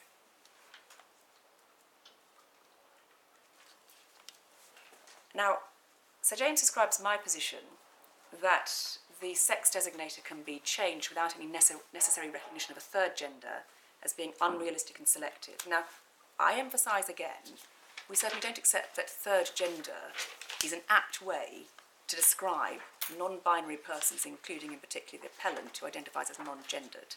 It isn't the way the government proceeds, and it isn't the, the accurate description in our submission. It's uh, something of a misrepresentation of the position based on the government's own evidence. I, I don't accept I'm being unrealistic. I do accept I'm being selective to the extent that this challenge is only to the passport policy. But Well, you, you gave fair warning yesterday that if you win this, the, the, the caravanserai, the, the caravan will move on. well, I, Um, I thought you were quite recognise. frank about that, I was thinking that, no? Well, I, I recognise that this, as it were, may be seen as a battle in a war. But that is not the same as saying we would win any further battles down the line. And that is why it matters to look at what is being sought and what the current state of affairs in the relevant state is. Because there may be quite different countervailing factors when it comes to other arguments. So, let us imagine, going back to Rees, that what Rees had wanted was a passport which identified Rees in their acquired identity. One can see that very different considerations would have come into play because Rees already had a passport, he didn't need to ask for it. But the question of civil status was the question that Rees was seeking. Different considerations may arise depending upon what is being sought. So I am not saying that this, if we were to succeed on this appeal, that is an open book to succeeding in relation to chipping away at every other form, because that is a question for another court on another day. So success in this context does not open floodgates in principle, because the court, just as it does in Strasbourg, this court have to consider the balance between the measure which is impugned and the burden on the state of, of changing that measure and the impact on the applicant in every case. So I can't anticipate what view the court below or this court might take on any subsequent challenge, and it would be quite wrong in my submission to seek to do so. Because Rees had the advantage that he was able to obtain a, a document in the, the acquired gender, which we do not have. So we are at the foothills of these arguments, after 30 years, still at the foothills of these arguments. But it would, in my view, be wrong either to suggest that it is in some way artificial to have challenged this particular measure, or that in considering the merits of our appeal in relation to this particular measure, one should take into account the potential for other challenges. And the way you know that it doesn't necessarily follow from having a passport to having full recognition in terms of civil status is Rees. Now, no doubt Sir James would say, well, in Rees it was merely a question of identifying an acquired gender rather than putting on a different gender. But it, in relation to passports, it's a question of X for unspecified. And I go back to our same position. We don't accept that. Identifying for unspecified of itself creates a, uh, Sir James would put it, a third gender, but creates a recognition of non binary status. It ultimately is for the government, and not, of course, Parliament, because it's the prerogative. It is for the government to consider how the um, application for X status should be dealt with. And as uh, my Lord Lord Justice Irwin points out, as it were, we are uh, neutral on that, save to the extent that whatever is done, it needs to include the appellant and persons in the, in the same position as the appellant. But the approach of piece by piece is well established in Strasbourg because in Goodwin and in Rees, it was a change to the birth certificate. Neither Christine Goodwin nor Rees sought to build into that. Well, once I've got my birth certificate, what I want next is the right to have a civil partnership, the right to marry, the right to be identified in a particular way on a birth certificate if I had a child. All of those downstream issues were left for subsequent cases many years after the event. So we don't see there is anything inappropriate or impermissible to challenge this particular measure in relation to the passport policy. And certainly not in some way unrealistic, because we go back to the point made yesterday, which is effectively we are in no different a position to Rees and those in Cossey who came before Goodwin of having a passport in one gender and birth certificate and civil status in another. Now, the importance of the passport, uh, my learned friend suggests it's precisely because of the seriousness and regularity of use of passport of the passport for identification purposes that it raises broader issues.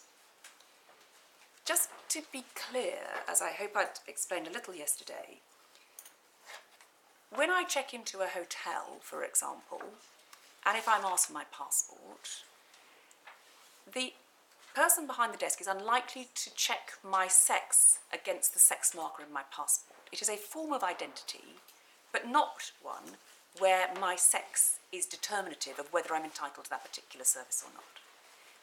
I entirely accept that there may be cases where a passport with an X marker is not adequate if, for good reason, a particular institution requires gender identification. And this goes into, and the government recognises it, this goes into a rather more wide ranging consideration of actually the extent to which gender markers, not just in the context of passports, gender markers are relevant at all. In other words, is government asking for gender markers in situations where they're simply not necessary? And um, I already alluded to um, the appellant's success in persuading RBS to remove gender markers when it came to an application for online banking. But I accept that if, for good reason, a particular institution required gender identity, I accept that the passport would not be enough for that. Then the appellant would have to show PERS birth certificate. And that's why I say that uh, Sir James's suggestion that it's because of the seriousness and the regularity of use that it raises border issues simply doesn't arise because either the sex marker is irrelevant, such as checking into a hotel, or if it is relevant, then the appellant has to go back to the birth certificate. But on no view does it raise broader issues simply by virtue of the fact that commonly in a country such as this, where we don't have identity cards, the passport is used as a mode of identification. One has to consider carefully what is required, as it were, what is the identification. It's a name and it's a picture. That is the situation. I, entirely accept, and I'll come on to security borders, but just in terms of the domestic use of the passport, that is the limitations on it.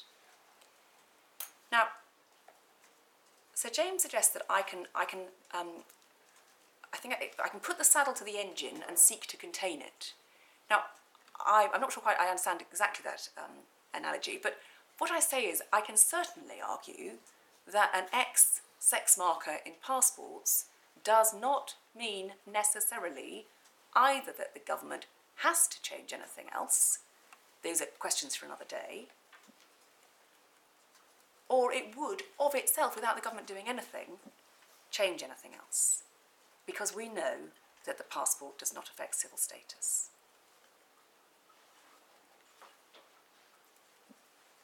My Lord, um, Lord Justice Henderson suggested to Sir James that Goodwin was a self contained issue. Now, we entirely agree it's a self contained issue, just limited to birth certificates, and we say that supports our position, which is then Goodwin didn't say, and as a result of that, I should be allowed to marry, have children, be defined as a mother or a father accordingly, those sorts of things. But I go back to Rees on that, and just if I may give the reference again, it's paragraph 42 of Rees, because in Rees, the reason for the problems were the necessary wider ramifications. In other words, what followed from the, the um, birth certificate were the reasons why at that point there was still a margin of appreciation, given the nature of the other things that needed to be thought through. Now, Sir James doesn't dispute the existing, long time existing, for uh, at least 40 years, inbuilt incoherence that I identified in relation to trans persons, based on the potential for the sex on their passport and other documents to be different to that on their birth certificate, and therefore not consistent with their civil status. But what he says on that is that's all effectively the more reason for seeking coherence in this case. Well, that argument might be slightly stronger if it had ever been suggested that greater coherence was required in the context of such trans persons. But we can imagine consideration was given following Goodwin to what needed to be done. What needed to be done was the Gender Recognition Act, which we know has a very, um, for various reasons, a very low uptake rate. It has never troubled the government, this inconsistency. It doesn't trouble it now. There's no evidence of any issue or difficulty. So I do say that it remains a- a fundamental undermining of the importance that is submitted by the Secretary of State of administrative coherence in principle. And the court already has my um, submissions on the limited way in which Strasbourg has considered the question of administrative coherence. I can deal briefly, I I hope, with fraud and security. Uh, Sir James accepts that, and the evidence on identity theft is concerned with removing the sex marker rather than whether you have an X, uh, a box. Um, we say then there is, there is, as it were, no value to be placed on that. It's no good simply saying, well, actually, if we remove the sex marker, security issues would arise. If there's no evidence that security issues arise in relation to X, then the argument doesn't get off the ground. In that context, um, Sir James was asked by my Lord Justice Irwin about evidence of security problems in relation to Australia. Now, the government haven't disclosed any of the responses. So we asked specifically, and I can give um, my lady, my lord, the, the reference to the, the document. We asked specifically for disclosure of responses uh, when we were in preparation for this. I'm sorry, I'm in the wrong bubble. Preparation for this um, these proceedings, because we were very interested to see what governments around the world would say about the X marker. And we were initially told that we wouldn't be provided with those. Um, s- I'm so sorry, let me just find the reference to that. And we made a freedom of information request in respect of them. I'm so sorry, yes, I've got it now. It's supplementary bundle, tab 26.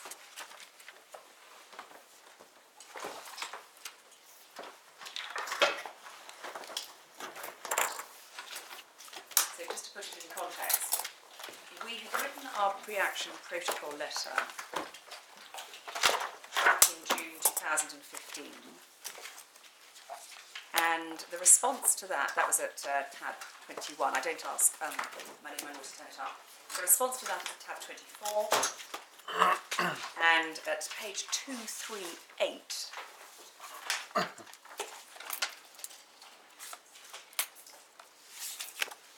uh, in paragraph 19, the final couple of lines of paragraph 19, we were told that passport policy team would be seeking updates this autumn from member states through the ICAO on the use or planned use of X in passports. So this is September 2015. Uh, we wrote in January 2016, that's at tab 26. And at page 244, paragraph 7, we asked for copies of all updates received since the response, in other words, the response the previous year from um, the HMPO to our pre-action protocol letter on the use or planned use of pass- passports as referred to in paragraph 19. Tab 27 uh, we were told that they, this is the third paragraph just above the second hole punch, uh, we would not share information supplied to us by individual ICA members uh, and suggested we look at the official government websites. Uh, but of course, we weren't asking which countries did or didn't have ex passports or how to apply for them. We were interested in whether there were security issues or other issues that were raised.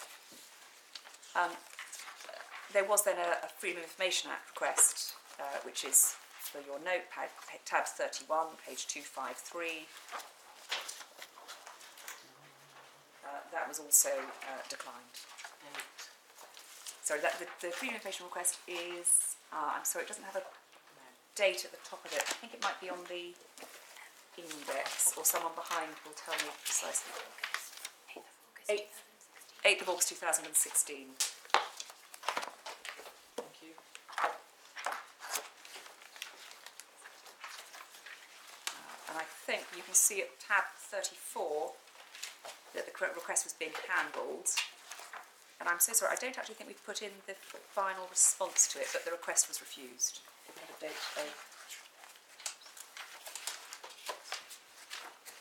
Oh, in fact, I have a complete clip were the court to, to wish for it, or I might just be able to give you the date. The sixteenth of September 2016. Sorry, sixteenth. Sixteenth, one six. Sorry, in that same year, is that right? Yes, Six- two thousand and sixteen. Yeah, thank you. So we weren't to know at that point that although they'd said they'd ask for those updates in the autumn of 2015, they didn't actually ask anyone, it appears, until January 2017.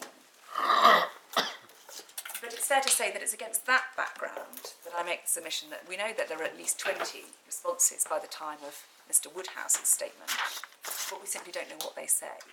So any suggestion that there's something in those responses that suggests there's some security issue that was raised, whether by Australia or any other country, either which issues ex-passports or has difficulty in terms of receiving people with ex-passports into their territory, we say you must proceed on the basis that there were no security issues raised in those, given the circumstances where we expressly and repeatedly asked for these documents.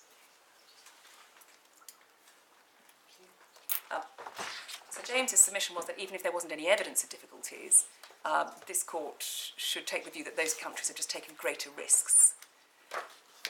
We find that a difficult submission, particularly against the background of Rees and the fact that effectively this country uh, was allowing people to travel on a passport that didn't match their birth sex for decades beforehand, which gives rise to, in principle, the same risk, the discrepancy between the birth stated on a passport and the underlying cardinal documents.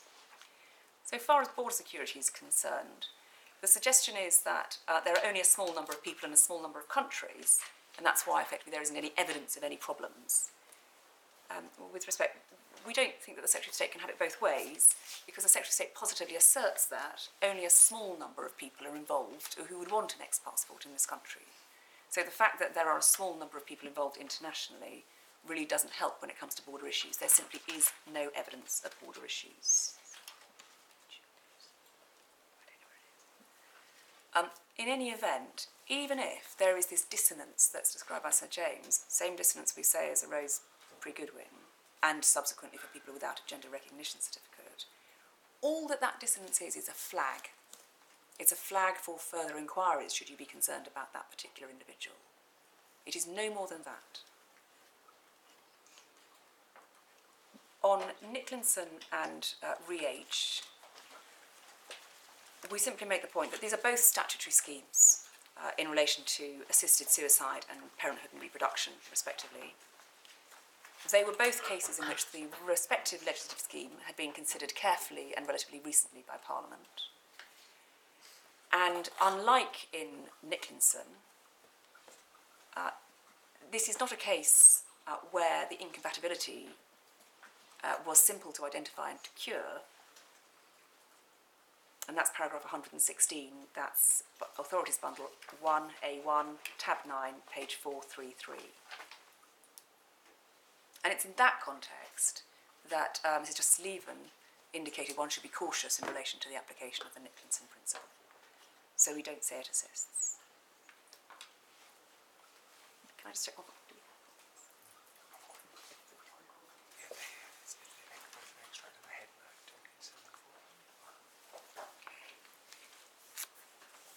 Before I move on to balance, can I just crave indulgence for a moment? One case that uh, came to mind, I'll give Miss Carss-Frisk all full credit for it coming to her mind because she appeared in it, is a case of the Hong Kong Court of Final Appeal. We have an extract from it. Now, I'm happy to deal with this in two ways, but it's effectively a point which is where the Hong Kong Court of Final Appeal, on which Lord Hoffmann was sitting, make the point that the um, the domestic court should not effectively be the poodle of, in that case, um, other national consensus. Now, I'm very happy to hand it up, or it might be better for me to deal with it very briefly, if I may, in writing so that Mr. Eadie, Sir James, uh, I demote him often, I'm afraid, has an opportunity to reply. No, I think we'd rather do it now. I'm not keen can I, to can I encourage. hand it up? Can I um, hand a copy? Did, did he got a copy? Yes, I agree. Yeah. Do you want to deal with balance so that Sir James has a moment Yes, to digest? exactly. And that was why I was just pausing so that I could, thank you, take the temperature, as it were. The temperature is definitely against further written submissions. No, well, mine too, but thought it polite to ask. well, Thank you. Um, balance. Um, we respectively agree entirely with my, my Lord Irwin. It is um, something that can be done relatively simply and at relatively little cost in relation to the issuance of an ex-passport. Don't confuse to me, that was merely an exploration. Well, a question as posed by my Lord Lord Justice Irwin indicated that the premise for that question was it is something that can be done relatively simply and at relatively cost. We say that is simply factually correct, uh, and that is the evidence that is before this court and was before the court below. But the balancing factor nowhere in Sir James's submissions took into account the appellant and the impact of the appellant. And we say that that is potentially crucial when one looks at B and when one looks at AP. The two factors that Sir James highlighted were firstly ongoing consideration. Now, I may be corrected on this, but we haven't found any case in which the ongoing consideration, as distinct from the question of consensus, has been put into the balance in Strasbourg. Because I accept, of course, that on one view, consensus is relevant and one looks to it, and one might think that it's to be inferred from that that governments continue to think about what to do. I'm sure some governments do and some governments don't across member states. But it is a quite different suggestion that one can put into this balance a factor which doesn't appear in Goodwin, Hämäläinen, AP, any of those cases, which is the government is keeping this under review. We say that isn't a relevant factor for the purposes of the balance, the fair balance, and I emphasise the word fair again, in Strasbourg terms. the second point made by Sir James is whether this is the right constitutional body, in other words, whether the court should make this decision or whether it's a matter for um, the Secretary of State. And the point we make there is that it, it is the prerogative power that is in play. It isn't a question of legislation, it isn't a question of going back to Parliament. It only becomes a question of going back to Parliament if the government chooses to make wider reforms. Until then, it is a prerogative power, and we say that is amply within the scope of this court's jurisdiction to review and consider. Can I deal briefly then with Article 14? Uh, just noting in relation to P and PV in Spain, uh, paragraph 29, the Strasbourg Court did find that particular serious, sorry, particularly serious and convincing reasons were required to justify discrimination on the grounds of sexual orientation. We say the same applies here, both parts of gender identity uh, and identity of self.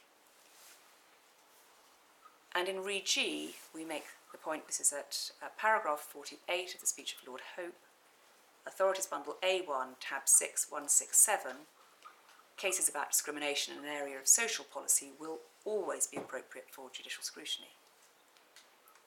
Now, it's suggested that an analogy with um, Steinfeld doesn't arise because here there are serious and difficult related questions.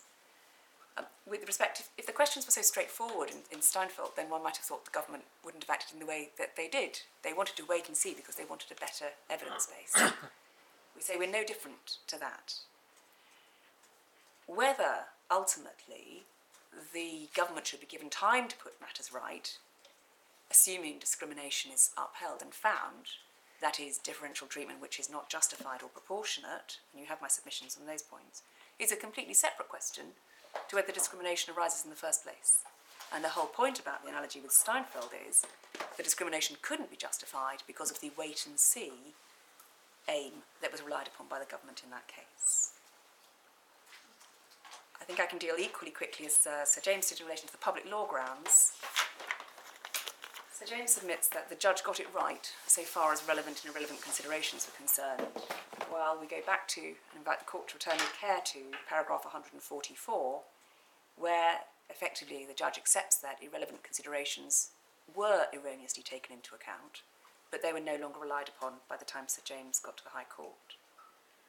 Uh, we find that genuinely troubling as an approach in the administrative uh, law forum.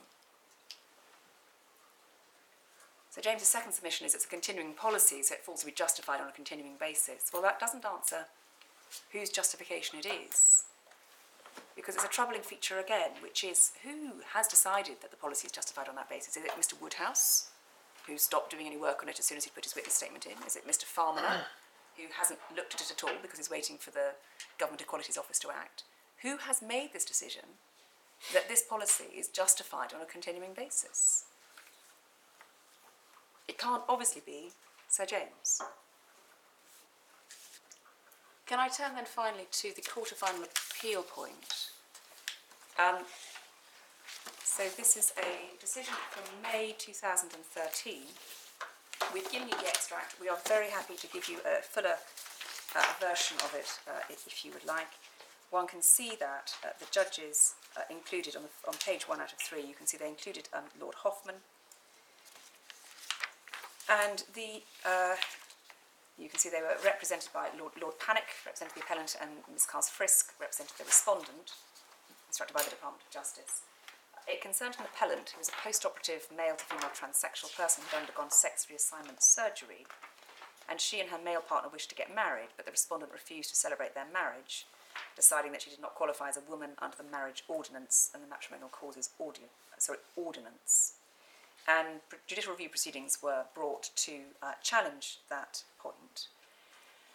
And uh, one will see that the application um, was uh, dismissed by the Court of First Instance and the Court of Appeal, but the appeal was allowed by a majority by the Court of Final Appeal. And you'll see that the Marriage Causes Ordinance was uh, intended to adopt the English statute which had formed a part of the, and you, my lord, my ladies will have seen it, the Corbett and Corbett approach, and my lady will be very familiar with that in, in any event. Um, but there was a question about, uh, just at the bottom, about restricting the criteria for ascertaining a person's gender to biological factors, two paragraphs from the bottom. The court held that the relevant provisions in the marriage uh, ordinance and the marriage, marriage matrimonial causes ordinance were inconsistent with and failed to give proper effect to the constitutional right to marry uh, noting that in denying a post-operative transsexual woman like W the right to marry a man, they effectively and realistically preclude her from marrying at all and impair the very essence of her right to marry, and those provisions were therefore held to be unconstitutional. But then this is the paragraph, and I'll take my lady, my lords, to the, the reasoning. Whether a consensus regarding a transsexual's right to marry exists among the people of Hong Kong is not a relevant consideration, since reliance on the absence of a majority consensus as a reason for rejecting a minority's claim is inimical in principle to fundamental rights. And we see the reasoning in the decision of paragraphs 113 through to 116 uh, there, which was um, pressed by the registrar, in other words, by my lady Florence Frisk, but without success, which is by analogy with the reluctance of the court prior to its decision in Goodwin to declare the Euro- United Kingdom's position on transsexual marriage a violation of the right to marry, uh, based on the lack of a European consensus, the Hong Kong court should be equally reticent to declare the relevant statutory provisions unconstitutional uh, unless persuaded there's general consensus against the pe- among the people of Hong Kong in favour of permitting such individuals to marry in their required gender. Uh, it's submitted that there's no evidence of either such social consensus or, and this is what I emphasise, an international consensus among countries which are signatories to the ICCPR. Um, the uh, Court of Appeal accept this argument even assuming that such consensus could somehow be gauged.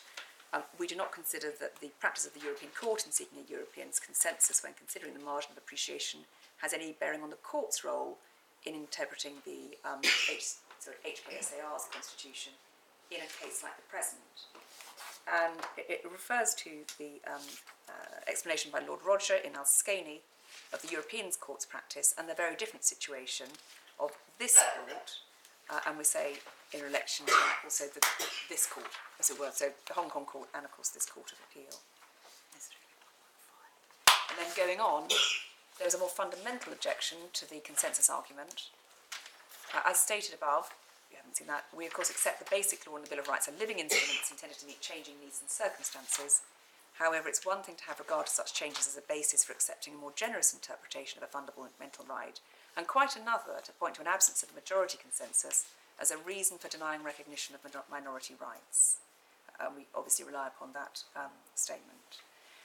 Thus, as we pointed out, in its case law leading up to Goodwin, the European Convention acknowledged that a departure from a position previously adopted, involving the upholding of the United Kingdom's then denial of the right to marry uh, may be warranted um, in order to ensure the interpretation of the Convention reflects societal changes and remains in line.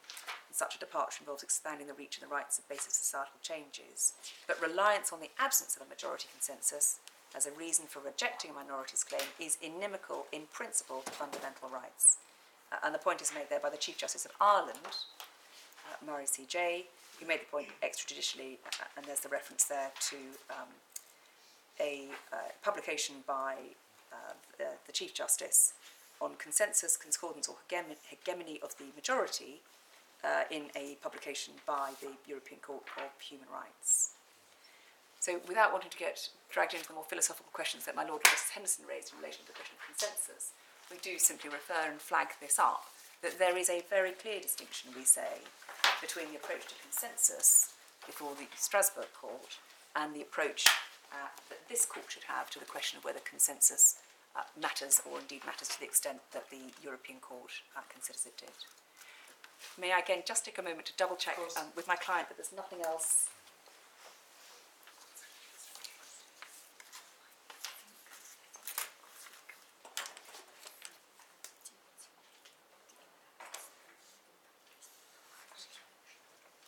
Oh, yes.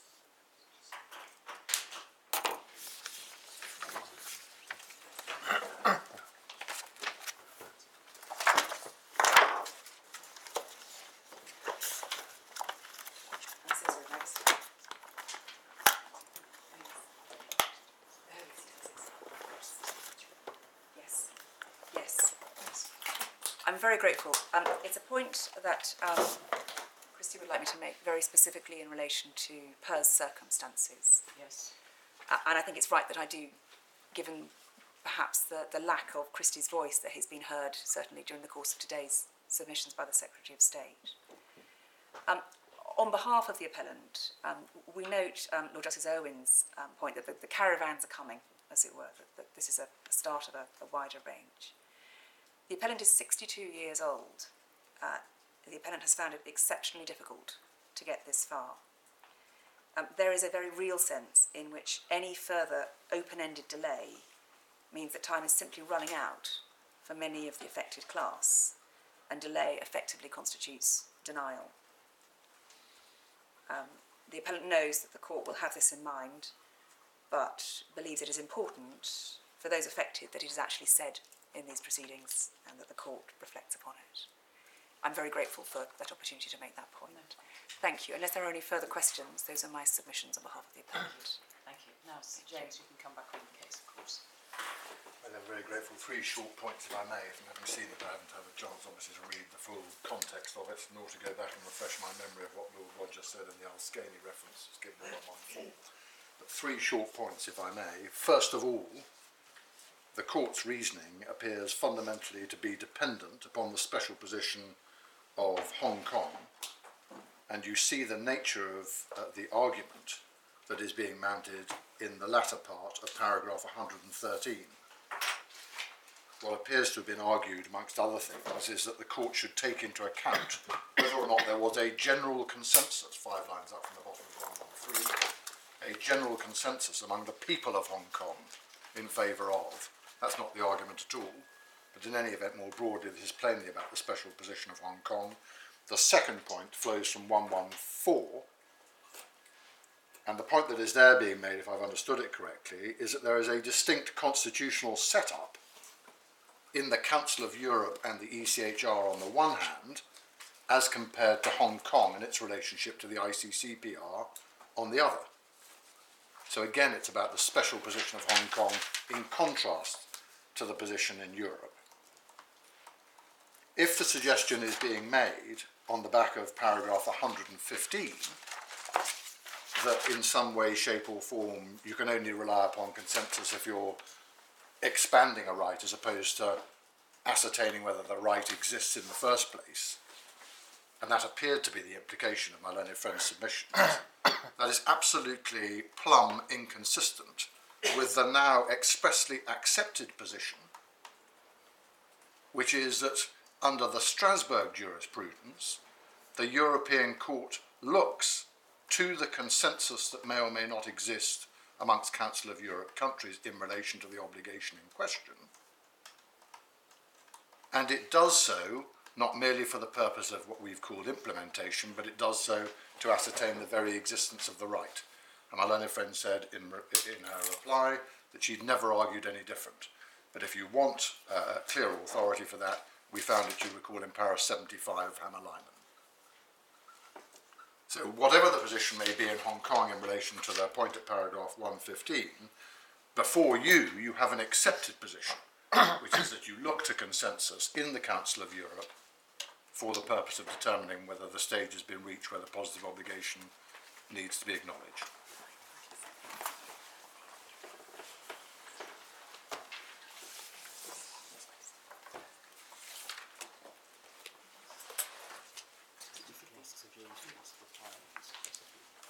Oh, yes, I should have asked you, thank you. I should have asked you if you wish to apply in relation to your cross appeal. Uh, no, thank you very much. And I should also, seeing as Thank you for the opportunity. I don't, um, Ms. Carss-Frisk, you represent the intervener, but um, as I gather you produced this case and um, have put it before us, I don't, and, and indeed I, appeared in I, it. I couldn't possibly add to what has already been said by Ms. Carroll. Very well, thank you. Uh, very well, well, it won't come as any surprise to any of you that we are going to reserve our judgments in this matter. I'm very grateful to all of you um, who've been extremely hardworking and helpful in this very difficult and very important case. I'm, of course, particularly grateful to all those who have um, acted pro bono, uh, but that doesn't in any way detract from the hard work put in on behalf of the government, for which I'm grateful. So the, we will send out our judgments um, in the normal way, uh, initially for typographical and grammatical uh, errors only. It's not an opportunity uh, to re-argue the case or an invitation to treat. Um, and we would hope that any other matters can be dealt with in writing. Uh, there's no necessity for anyone to attend at the handout. Thank you all very much indeed. All rise.